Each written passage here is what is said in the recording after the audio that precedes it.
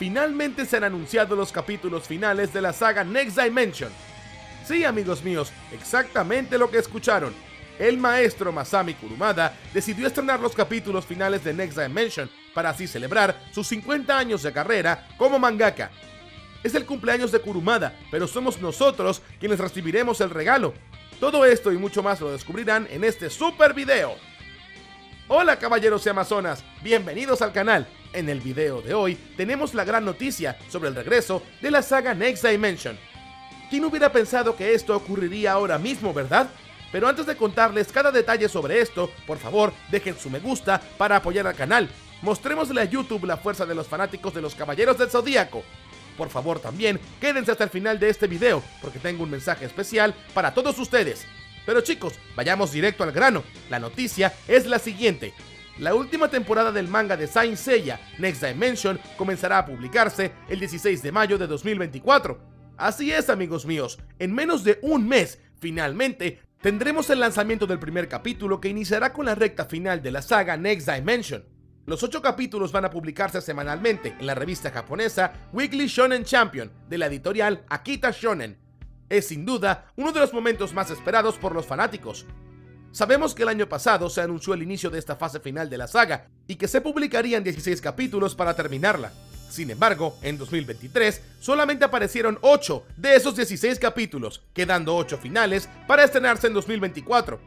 Es por eso que existe una gran expectativa de que Kurumada termine esta saga de la mejor manera posible, Sabemos que Next Dimension tiene un montón de cabos sueltos por resolver y muchos de ellos se los mostré en el video anterior aquí en el canal.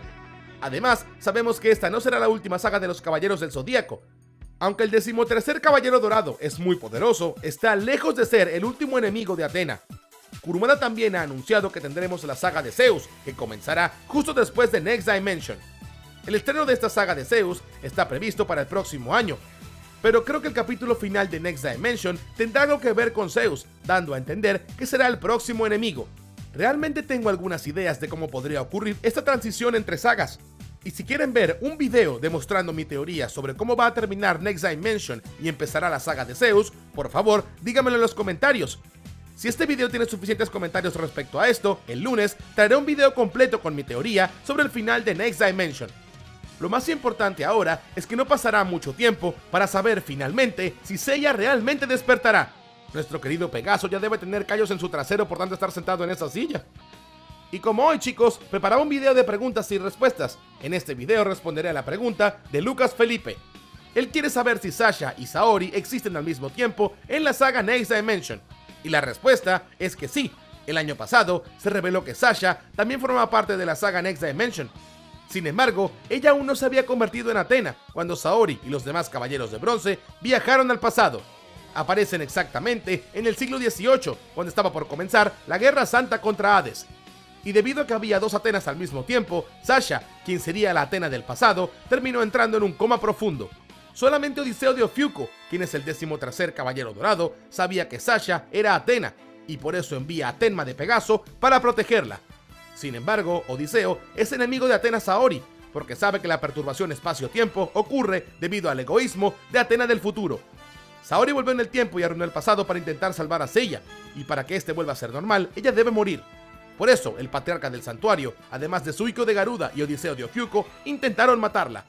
Los tres sabían que el alma real de Odiseo de Ofiuco se liberaría de su sello en el inframundo, porque la futura Atena volvería al pasado, Odiseo de Ofiuco no era malvado. Incluso sube las 12 casas del Zodíaco derrotando a los demás caballeros dorados, pero mantuvo a todo el mundo con vida. Su misión era matar a Saori y devolver toda la normalidad antes de que Asclepio poseyese su cuerpo. Sin embargo, en la casa de Escorpio, el cuerpo de Odiseo acaba siendo completamente controlado por el caballero de Ofiuco de la época mitológica. Asclepio mató entonces a Ecarlate de Escorpio y ahora se enfrenta a los caballeros de bronce. El alma del ex caballero de Ofiuco es completamente malvada, y a diferencia de Odiseo, quiere matar a ambas Atenas, tanto a Sasha como a Saori. Además de Sasha y Tenma, también tenemos a Alon en este universo. Son personajes que existen tanto en la saga Next Dimension como en la saga de Los Canvas.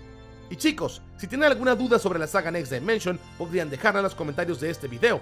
En las próximas semanas haré un montón de videos respondiendo a sus preguntas y también mostrando curiosidades y teorías de la saga. Hablando un poco más sobre otros lanzamientos, esta vez involucrando figuras de acción y figuritas de los Caballeros del Zodíaco, Bandai ha publicado imágenes finales del muñeco Figuard Zero Metallic Touch de Seiya de Sagitario. El lanzamiento está previsto para diciembre de 2024 en Japón. Se trata de una increíble figura de Seiya que dejará boquiabierto a cualquier fanático. Realmente una pieza muy hermosa, Bandai también anunció que en octubre de este año se lanzará el muñeco Clothsmith X de Iki de Phoenix con su tercera armadura de bronce, la misma que utilizó en la saga de Hades. Y dime, ¿cuál de estas querrías tener en tu colección? ¿La de Sella de Sagitario o la armadura mítica de Iki de Phoenix? Por favor, dímelo en comentarios. Y chicos, el mensaje final es el siguiente. Por fin tenemos un grupo para suscriptores aquí en el canal en Facebook. Dejaré el enlace del grupo en esta descripción del video y también en el primer comentario fijado. Así que entren, inviten a amigos a los que les gusten los Caballeros del Zodíaco y sigamos hablando de esta increíble saga que marcó nuestras vidas. Y para quien quiera ayudar al canal, también es muy sencillo. Solo hagan clic en el botón de convertirse en miembros que está debajo del video. Allí eligen una categoría y me ayudan a continuar con este increíble trabajo aquí en YouTube. Igualmente chicos, gracias por ver este video hasta el final y hasta la próxima. Quemen su cosmos hacia el infinito.